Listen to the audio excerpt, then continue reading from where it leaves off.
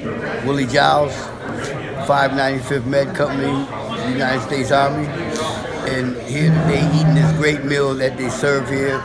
You know, it's good for the veterans who don't have nowhere to go to eat. And uh, it's just good for the community. And we really appreciate it. So give thanks.